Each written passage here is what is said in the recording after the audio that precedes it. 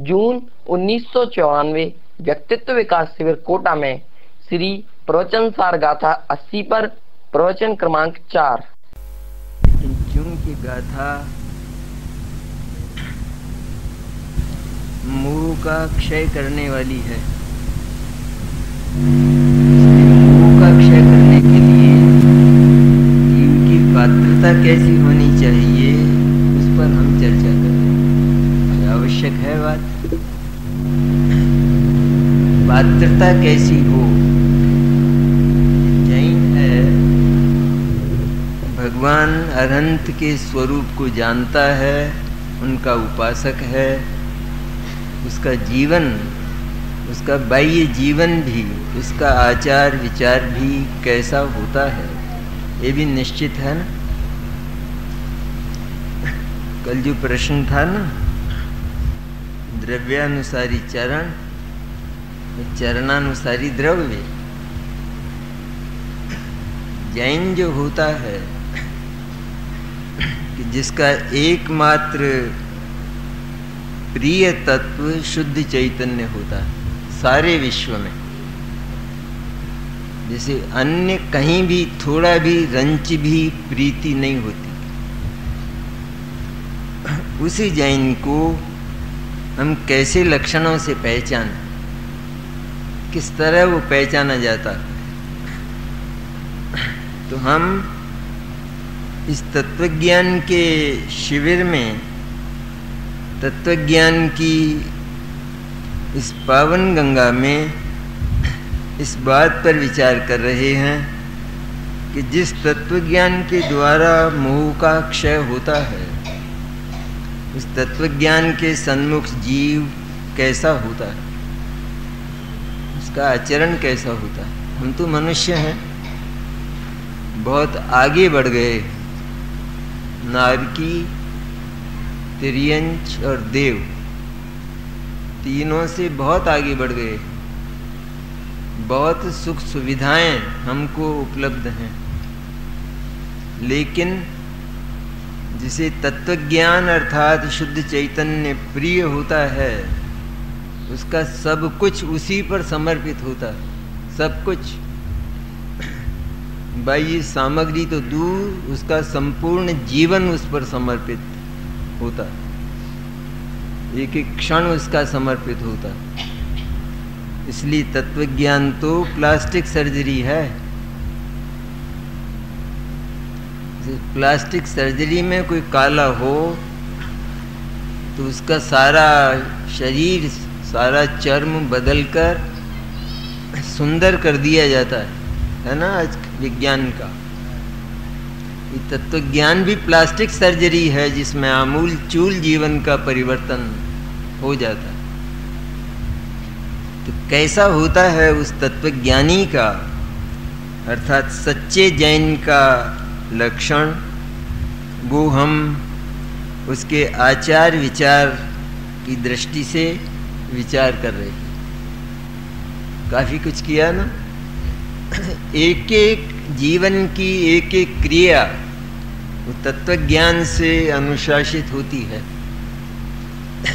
ऐसा कभी नहीं मानना चाहिए कि तत्व ज्ञान तो घर में बैठकर थोड़ा सात तत्व का विचार कर लो। बस और इससे आगे क्या है? घर में उसका क्या काम? और बाजारों में और दुकानों पर उसका क्या काम? पर एक एक क्रिया उससे अनुशासित होती तत्व ज्ञान से। यदि ऐसा नहीं है तो वह तत्व ज्ञान असमर्थ है और वो मोह का क्षय नहीं कर सके। ये तो जैन के लक्षण की बात कर रहे हैं जैन का वास्तविक लक्षण कैसा होता है? कभी सुना हो हमने तो भारतवर्ष में एक बड़े विद्वान मंडन मिश्र पंडित हुए। उन मंडन मिश्र का घर जब पूछा जाता था तो क्या उत्तर मिलता था, वो बात थोड़ी करते। एक बार एक विद्वान उस नगर में मंडन मिश्र का घर पूछते हुए कुएँ पर आए और वहाँ पनिहारियाँ पानी भर रही थी। उन्होंने उन पनिहारियों से पूछा कि मंडन मिश्र का घर कौन सा है? तो एक पनिहारी क्या उत्तर देती है? स्वतः प्रमाणम परतः प्रमाणम कीरांगना यत्र गिरंती तत्र द्वारस्थ नीड़ांतर सन्निबद्धा जाना ही ताम मंडन मिश्र धाम प्रमाण ज्ञान स्वतः होता है या परतः होता है, इस विषय पर, जहाँ दरवाजे पर झूलते हुए तोता और मैना वार्ता करते हों, समझ लेना कि वो मंडन मिश्र का घर है। ये न्याय का विषय।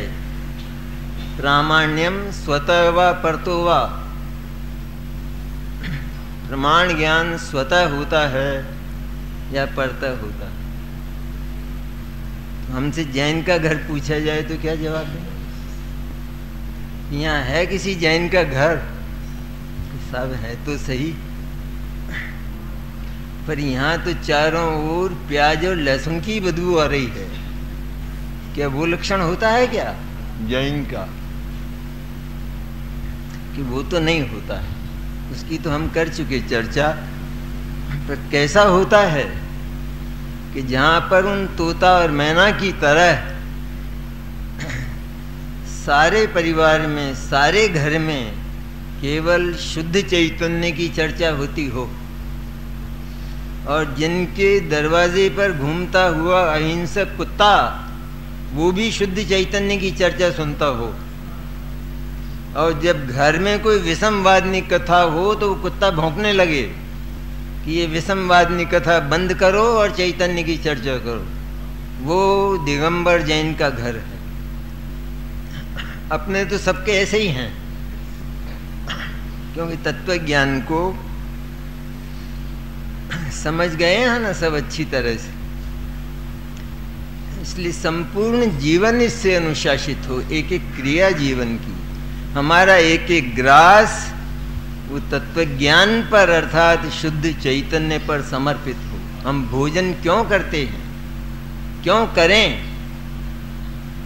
क्योंकि हमें रहा नहीं जाता और उस चैतन्य का अनुभव कर रहा है इसलिए करते हैं। कमाई क्यों करते हैं? वो पाप भी क्यों करते हैं इतना? कारण है उसका। कि अभी कक्षा इतनी नीची है, फिर भी उस तत्व ज्ञान की रक्षा के लिए ही ये सब करते हैं। अन्यथा आकुलता बढ़ जाएगी। कक्षा नीची है, पुरुषार्थ मंद है तो आकुलता बढ़ जाएगी। मुनिराज जैसा पुरुषार्थ अभी हमारे पास नहीं है। ऐसा घर होता है। सचमुच तो।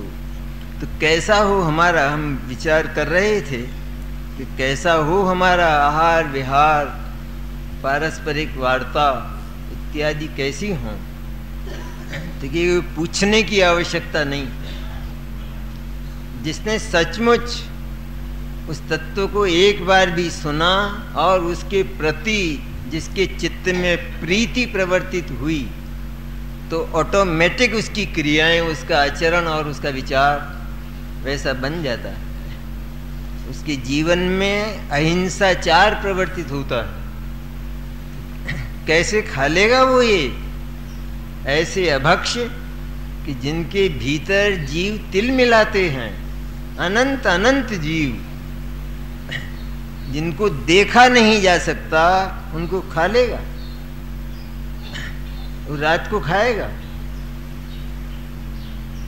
रात्रि भोजन कि जिसमें पता नहीं कि कितने कितने जीव पैदा होते हैं रात में? जो सूर्य के प्रकाश में पैदा नहीं होते, वो तो विज्ञान है ये। जैसे ज्ञान के प्रकाश में राग, द्वेष, मोह पैदा नहीं होते।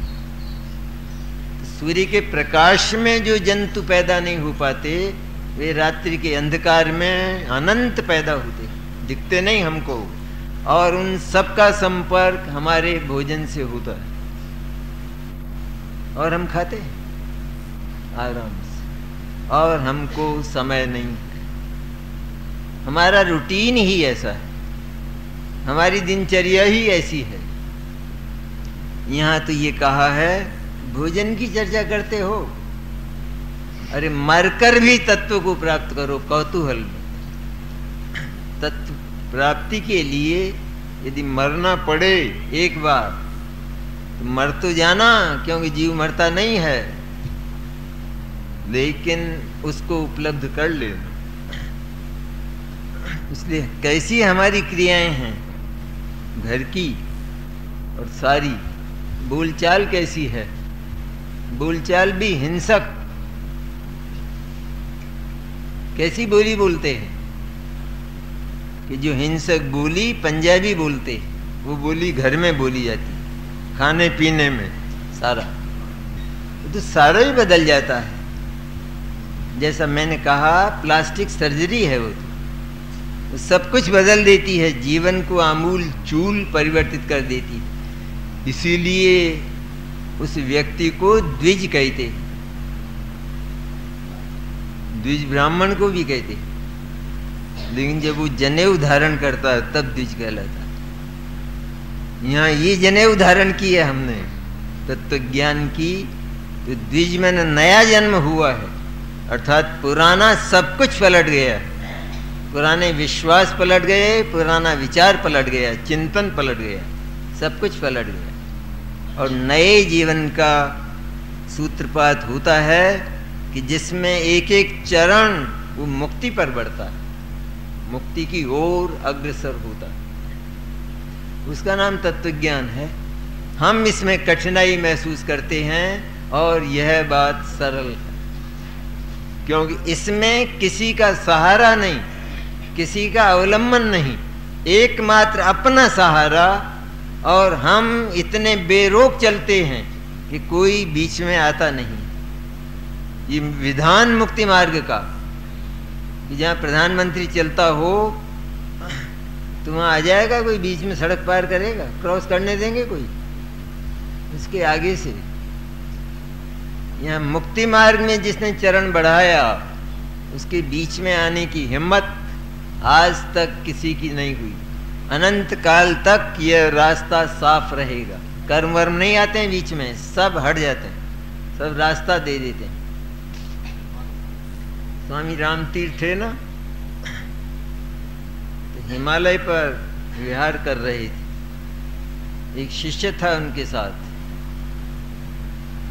उस समय आया, बर्फ़ का तूफ़ान आया सामने से। शिष्य एकदम भयभीत हो गया कहता है, गुरुदेव राम तीर्थ ने उस तूफ़ान की ओर देखा और वो एक ओर होकर निकल गया। ये तो लौकिक चमत्कार हैं। लेकिन ये तत्व ज्ञान का जो मंत्र है, ये जो जादू है, वो भी ऐसा ही। कि जिस समय ये बढ़ता है, सब एक और हो जाते हैं। और सारा मार्ग हमारा साफ़ हो जाता है। लेकिन हम इसकी छाया में, इस अशोक वृक्ष की छाया में बैठें और फिर एक एक क्षण हमारा इसी में व्यतीत हो। जीवन तो कितना गंदा है। खाने, पीने इत्यादि में, सब में बोल चाल में, व्यवहार में कितना गंदा हो गया है। और वह आज की सभ्यता में शामिल कर लिया गया जिसको सभ्यता में शामिल कर लिया गया वो उसको कौन छोड़ेगा? आज की नई सभ्यता खड़े खड़े खाना बफे में। है ना नई सभ्यता? तो खड़े खड़े तो मुनिराज ही खाते हैं उसमें क्या हो हम खड़े खड़े खाते हैं तो तो हम अभी से खाने लगे तो अभ्यास हो जाएगा ना कभी? पर पूछना यह है कि मुनिराज से और क्या सीखा तुमने? मुनिराज ऐसे खाते हैं? मुनिराज का खड़े खड़े खाना मैंने जैसे जो हिरण घास खाता है, खाता तो है, लेकिन उसका वहाँ ममत्व नहीं है। जरा सी आट हुई और भाग जाता। मुनिराज का कैसा होता? खाते हैं मुनिराज? तुम्हारी आँखों में पीलिया है।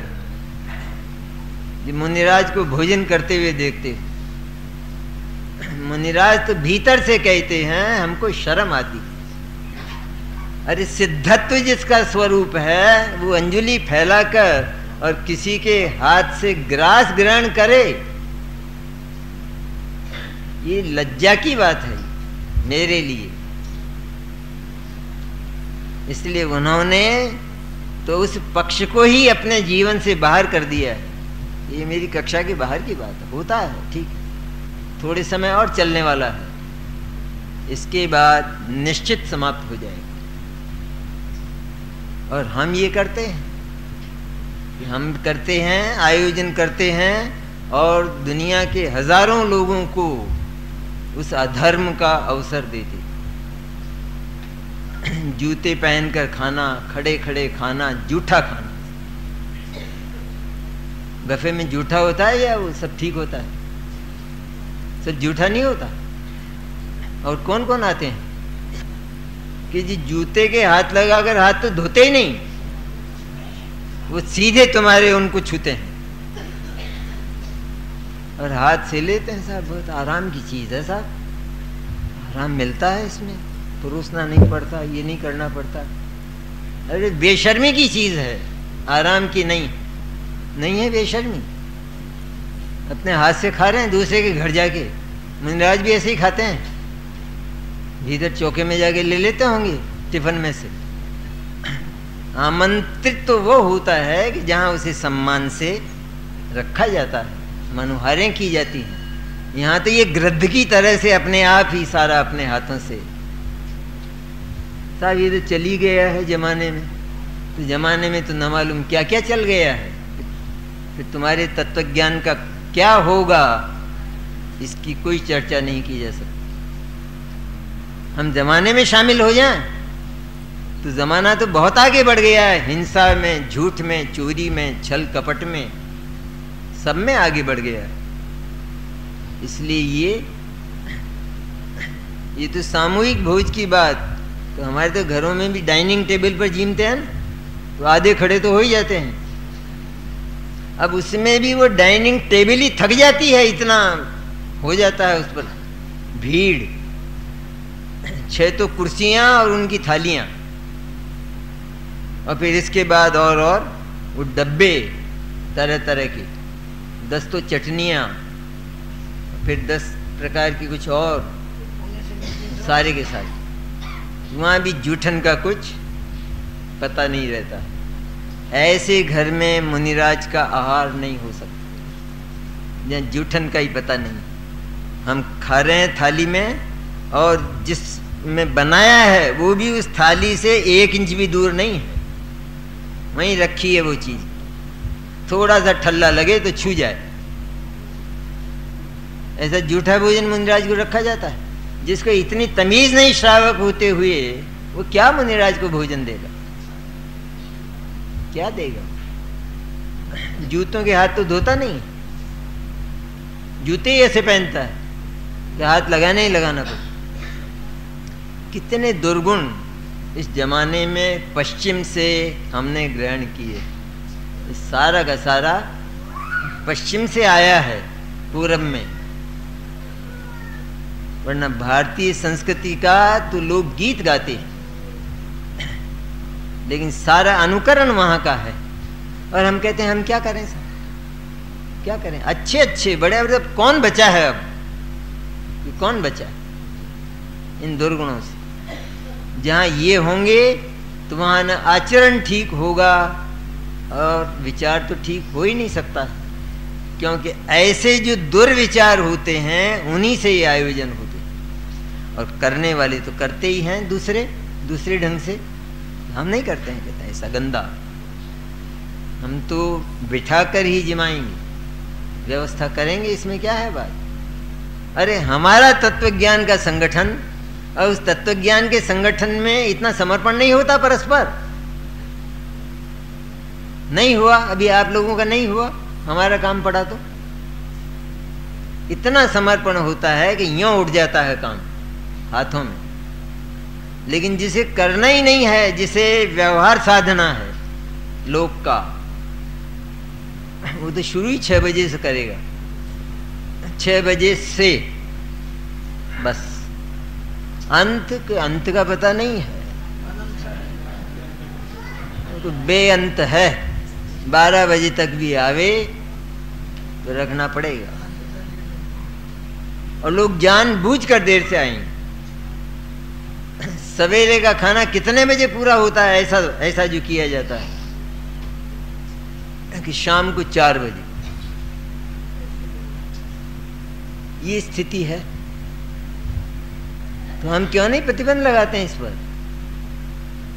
हम लिखें उसमें कि यहाँ तक है खाना।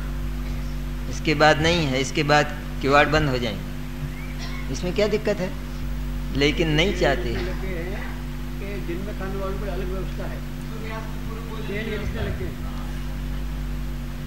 दोनों ही व्यवस्था है। कि दोनों ही व्यवस्था है। ऐसा। एक एक आदत पर तत्वज्ञान कंट्रोल कर लेता है। स्वतः ही कर लेता है। अपने आप ही कर लेता है। उसमें ज़्यादा मेहनत नहीं करनी पड़ती। हमको ऐसा लगता है कि ये बहुत बड़े प्रतिबंध हैं। हम क्या क्या देखेंगे? क्या क्या करेंगे? अरे भाई क्या क्या करेंगे ये प्रश्न ही नहीं है ना। तत्व ज्ञान का जब उदय होता है तो तो कषाय पर गाज की तरह, बिजली की तरह गिरता है। और कषाय को इतना मंद, इतना विशुद्ध कर देता है कि जीवन की चर्या ही वैज्ञानिक हो जाती ऑटोमेटिक हो जाती।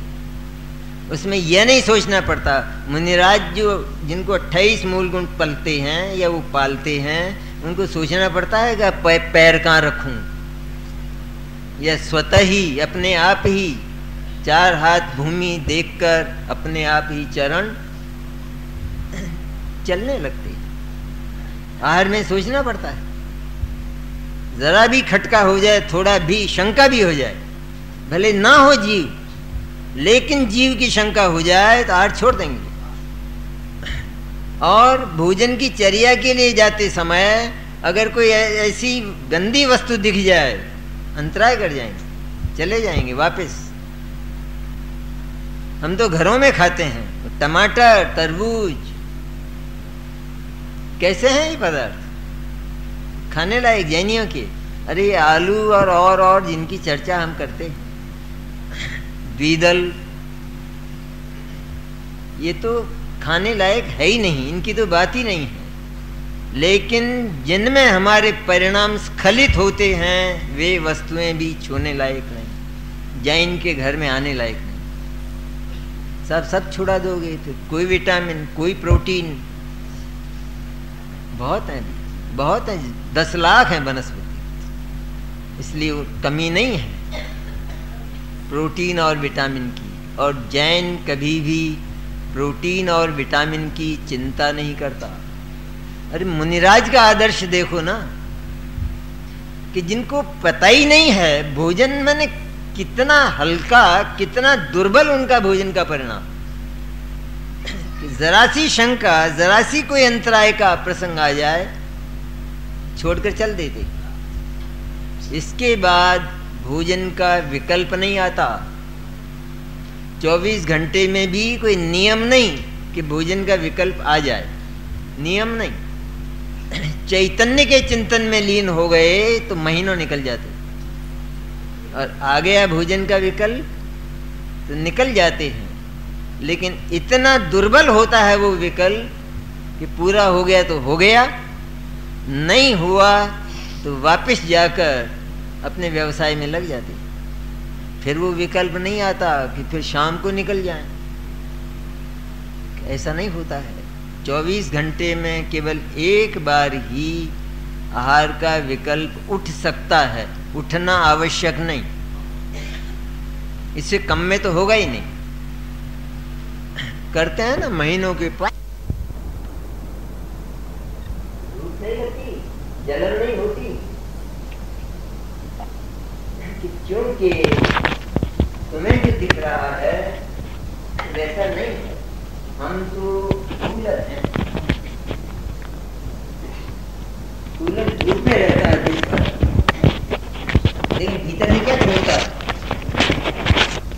भर है तुमको जो धूप में दिखाई दे रहा है वो मैं नहीं हूँ। मैं तो चैतन्य की के अशोक वृक्ष की शीतल छाया में रहता हूँ इसलिए मुझे धूप नहीं लगती। लगना दूर रहा उसका विकल्प नहीं होता। आज गर्मी ज़्यादा है। विकल्प मंडराज को नहीं आता। बढ़िया। आता हो तो घर नहीं छोड़ता। जब इस लायक हो जाए ताकत नहीं है आत्मा में। अरे अनंत ताकत है, वो तो जब मरता ही नहीं है तो उसे क्या धूप और कौन सर्दी? जब मौत ही नहीं है आत्मा। मरा आत्मा आज तक? मरा तो फिर पैदा कैसे हो गया? मर गया तो। के लिए उछलते हमको आता है, दान का भाव है ना? दान, जो लक्षण है, श्रावक का। तो कभी किया दान? कभी ये भाव आता है जब दस बजते हैं, ग्यारह बजते हैं, कि मेरे घर में कोई भावलिंगी संत आवे, आकाश से ही उतरे भले ही। आता है ये भाव? श्रावक का लक्षण है या नहीं? दान। आहार दान। लेकिन हो, रत्नत्रय की प्रेरणा देने वाले। रत्नत्रय से जो विभूषित हों, प्रेरणा तो उनसे मिलेगी ना? तो श्रावक वो क्यों मुनिराज के निकट जाता है? क्योंकि उसके पास अभी रत्नत्रय की कमी है, पूरा नहीं है, और उस रत्नत्रय के परिवर्धन के लिए मुनिराज के पास जाता है, उसे प्रेरणा मिलती कब वो नहीं, ये पद आते हैं कि वो दिन कब आए कि जब मैं नग्न दिगंबर होकर जंगल में विचरण करूँ विचरण करूँ मैं ना? घूमता रहूँ वो नहीं। लेकिन उस निर्जन एकांत में, उस शुद्ध चैतन्य के भीतर समा जाए स्वरूप मंथर कहते हैं मुनिराज जी, स्वरूप मंथर। स्वरूप मंथर मैंने चैतन्य के भीतर जिनका उपयोग जाकर पसर जाता है। पसर जाता है ना, जैसे बहुत नींद आ रही हो और एकदम कूलर में जाके पसर गया। अब जगाते जगाते भी जागता नहीं, बाहर निकलता नहीं, आवाज़ सुनता नहीं। इस तरह जो चैतन्य की वो शीतल छाया में पसर जाते हैं और बाहर 28 मूल गुण में भी नहीं आना चाहते।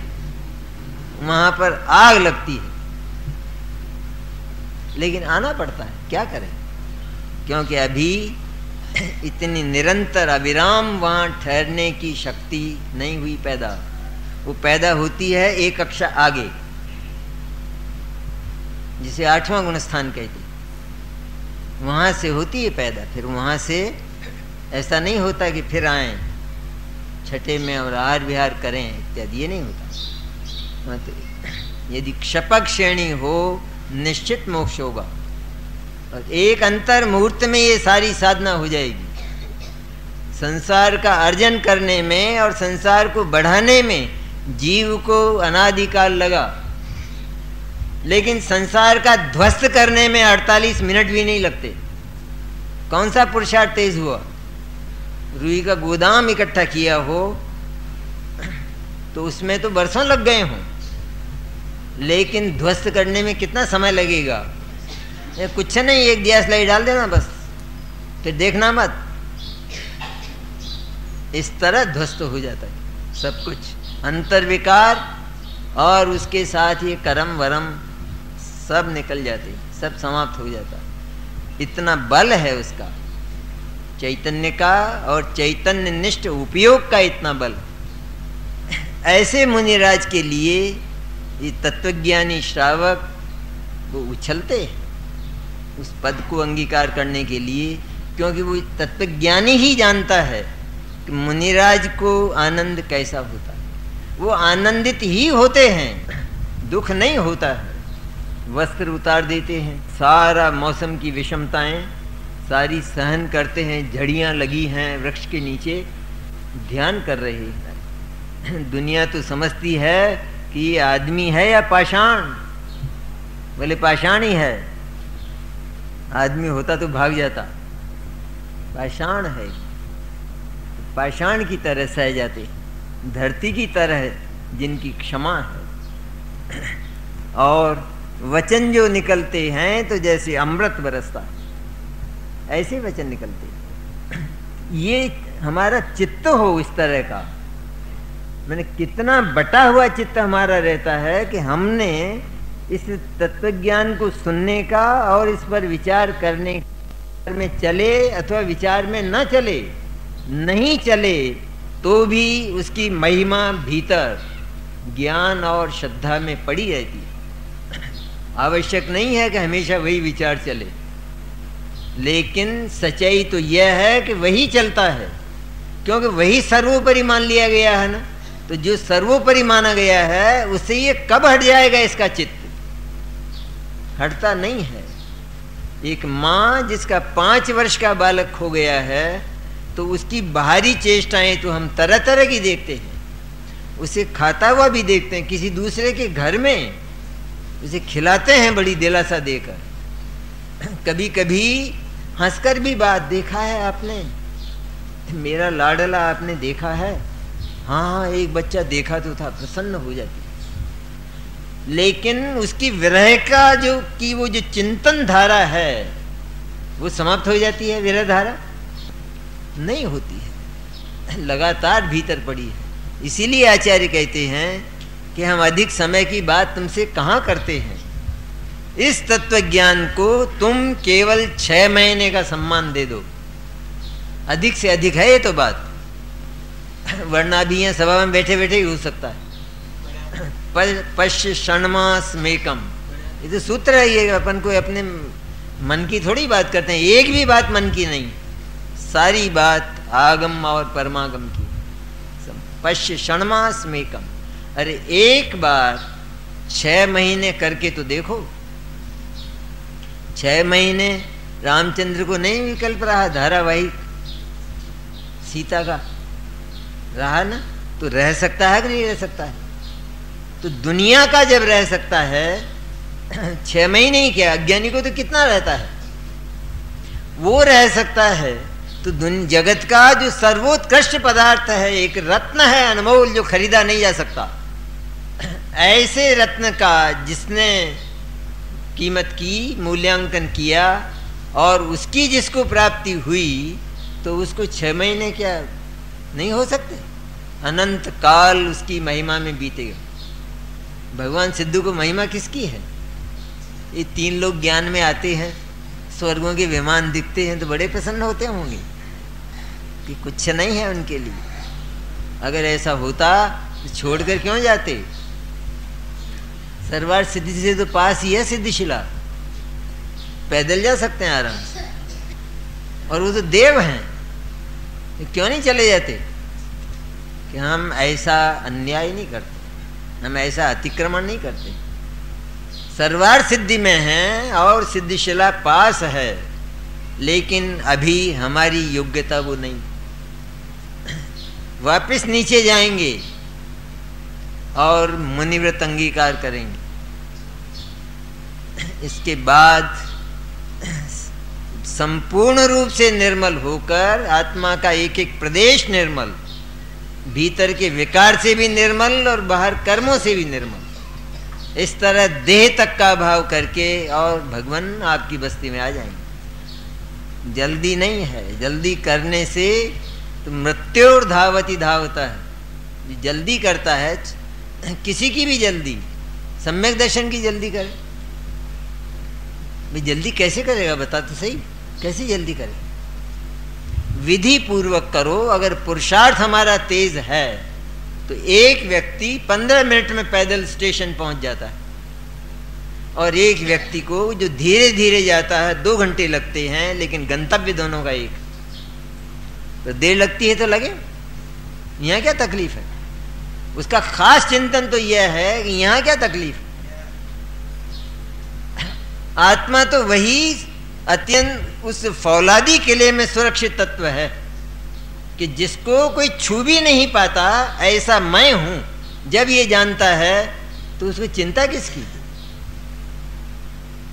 इसलिए संसार में रहने की कोई खुशी नहीं, प्रमाद नहीं, और सिद्ध बनने की कोई उतावल नहीं, उसका नाम तत्वज्ञान। वो सिद्ध बनता है। जिसने सिद्ध दशा से भी ममत्व तोड़ दिया, वो सिद्ध बनता है। क्योंकि वर्तमान में है। सिद्ध से ऊँची वस्तु, सिद्धत्व से।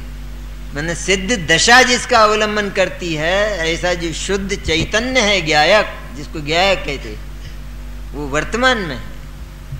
भगवान सिद्ध भी अनंत काल तक उसी के अवलंबन पर निरंतर उस आनंद में डुबकियाँ लगाते रहती बस ये ही काम है, सिद्धों का। और भी है कोई काम? जिसको ऐसा आनंद मिल गया हो, वो वापस आएगा? यहाँ, ज्वाला में, दावानल में, नहीं आता है। इसलिए हम हम क्या चिंतन कर रहे हैं कि ऐसी दशा तक पहुँचने के लिए हमें कितना नहाना चाहिए? कितना पारिमार्जन, कितनी विशुद्धि हमारी होनी चाहिए? कि सचमुच तो इस तत्व ज्ञान का अवलंबन लें तो ये एक एक आदत पर कंट्रोल कर लेता है। कैसे बोलना, कैसे चलना, कैसे खाना, किस तरह खाना, क्या खाना, इत्यादि। ये सब उसमें शामिल व्यर्थ की आदतें समाप्त हो जाती हैं, व्यर्थ के पाप समाप्त होते हैं। सबसे पहली बात तो यह है कि जीव व्यर्थ के पाप बहुत करता है। वचन से ना हो, काय से ना हो तो मन में बहुत करता है। वो सब छूट जाते ऐसा तो एक मूसलाधार वर्षा है, शीतल जल की। जैसे तपी हुई धरती है, और पहली ही मूसलाधार वर्षा में वो धरती शीतल हो जाती है। उसी तरह वो तत्वज्ञान की मूसलाधार वर्षा होते ही कषाय छिन्न भिन्न हो जाती है, शांत हो जाती है। शुभ उपयोग, वो कोई चला चला कर लाना नहीं पड़ता है, शुभ भाव। लेकिन ऑटोमेटिक इस तरह आ जाती सारी चर्या बदल जाती जीवन बदल जाता है। इसका नाम तत्व ज्ञान हमारी तो कई आदतें रहती हैं, समय सार पढ़ते हैं। बड़े बड़े विद्वान लिए हाथ में पेंसिल। अब वो पेंसिल से इस पर भी चिन्ह करते हैं समय सार की गाथा और टीका पर, और उसको मुँह में भी रखते या फेरते मुँह में भी ले लेते हैं। तो हम जाकर पूछते हैं सभी, क्या पेंसिल क्यों लिए हैं कुछ नहीं, इसमें चिन्ह कर लेते हैं, जो खास बात आती है। लेकिन हमने तो आज समझा कि पेंसिल के दो उपयोग होते एक तो ये बच्चों की चूसने की तरह चूसी भी जाती है और एक इससे चिन्ह भी किया जाता ये हमारी आदत। इस सम्मान होगा जिनवाणी का? होगा सम्यक दर्शन। बैठेंगे, कहीं कुर्सी पर बैठेंगे, पलंग पर बैठेंगे, पैर हिलाएँगे। भाई पैर क्यों हिलाता है? अजी वो वैसे ही हिलते हैं, उसमें क्या है? तो क्यों हिलाता है? क्या है बात? तकलीफ़ है? लकवा हो गया है? कंपन है? क्यों हिलाता है व्यक्ति? तुझे नहीं होगा सम्यक दर्शन। तेरे तो यही बस में नहीं है।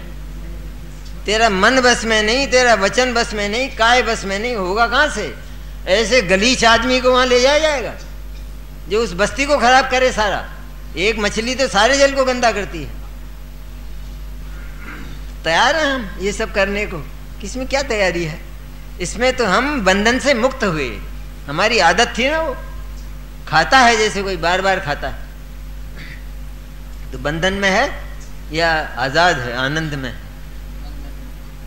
क्योंकि उसके बिना उससे रहा नहीं जाता तो बंधन हुआ या नहीं? और जिसका चित्त इतना स्वतंत्र हो गया नहीं चाहिए मेरे को तो बंधन से मुक्त हुआ। बंधन से जितना मुक्त हुआ, उतना आराम है ना? मैं तो बहुत आराम में हूँ जी। पहले दिन भर बकरी की तरह चबाता था अब बस केवल इतना सा लेता ये आदतें एक एक आदत, एक बार मैं तो ये लक्षण जानता हूँ, मुमुक्षु का। उसको एक बार कोई सही बात कह दी जाए। और फिर वह उस गंदी आदत को छोड़ दे, क्योंकि व्यर्थ की है, निकम्मी है, उसकी आवश्यकता नहीं है। तो यदि वो छोड़ सकता है तत्काल, और दूसरी बार उसकी आवृत्ति ना हो तो वो पात्र है। ये लक्षण मैं तो ये लक्षण बनाता हूँ। और उनसे आप पूछ लेना क्या बनाते क्योंकि व्यर्थ की है।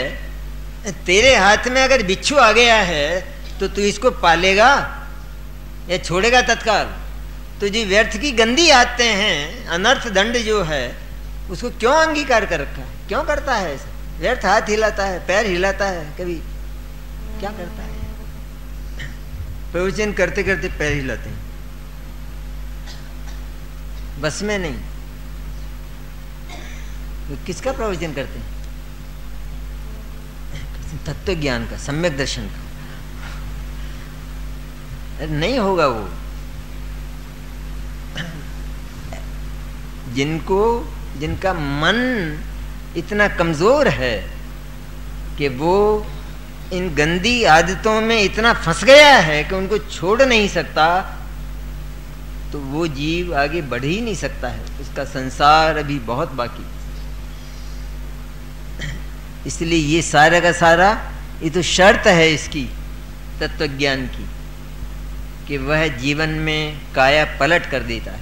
और इस तत्वज्ञान का कोई कार्यक्रम नहीं होता, कि हम तो साहब प्रातः काल उठ के और आत्मा का चिंतन कर लेते बस उस समय बहुत आनंद आता है। इसके बाद तो अब बहुत सारे काम हैं बहुत सारे काम हैं इसके बाद। कि बहुत अच्छे हैं, आप ऐसे अच्छा करते हैं। लेकिन अभी दिल्ली बहुत दूर है। क्योंकि इसका कार्यक्रम होगा, जो सर्वोत्कृष्ट वस्तु है उसकी प्राप्ति का जो प्रयत्न है, उसका कार्यक्रम होगा। बीमारी को दूर करने का क्या कार्यक्रम है? मैंने बीमारी को दूर करने का जो कार्यक्रम है, वो हमारा निश्चित है कि नहीं? घड़ी से। बस बाकी समय में दूर नहीं करेंगे। ये तीन टाइम का है बस केवल। इसके बाद बीमारी को कह दिया कि रुकी रुकी रहना, जाना मत। ये 24 घंटे होता है वो, काम। ये तत्व ज्ञान ऐसी औषधि है कि जो प्रति समय उस कषाय को ध्वस्त करती इतनी ताकत है इसमें। और इसका कार्यक्रम नहीं होता।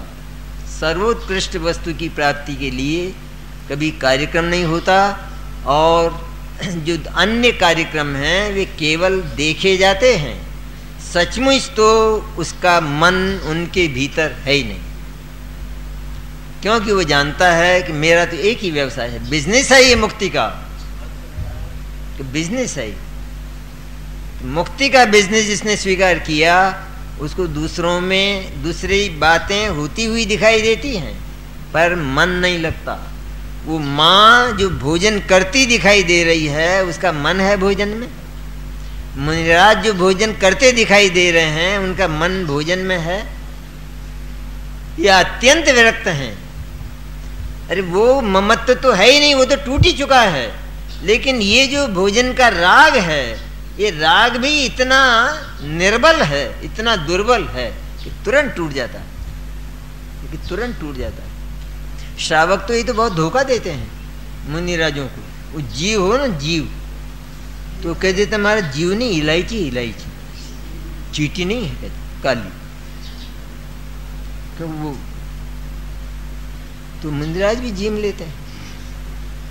कभी तुमको शंका हो गई है और निर्णय नहीं हो पा रहा है, भोजन छोड़ दो।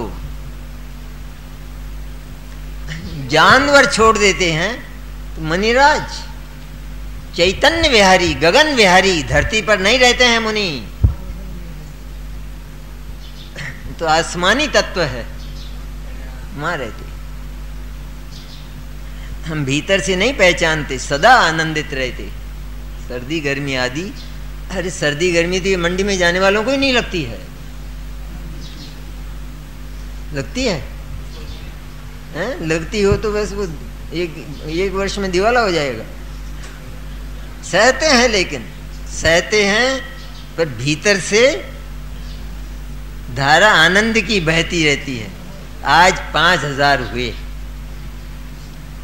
वो धारा बहती रहती है। तो उस बल पर सब नहीं सह लेते हैं। तो मुनिराज नहीं सह लेंगे? उनको कौन सी चीज़ मिल रही है?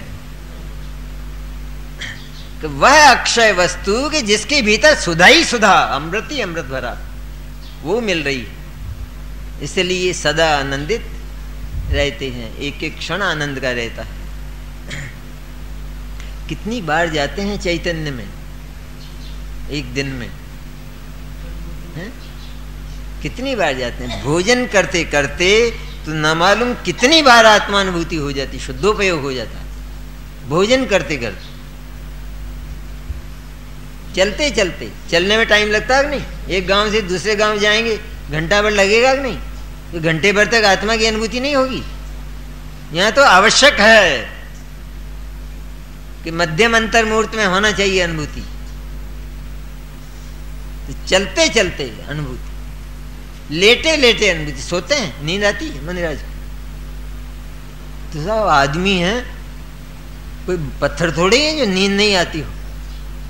अरे तुमको नींद नहीं आती अगर तुम्हारा बालक हॉस्पिटल में है तो। उस माँ को नींद नहीं आती। उनको नींद आएगी? क्योंकि तो बीमार हो जाएँगे तो।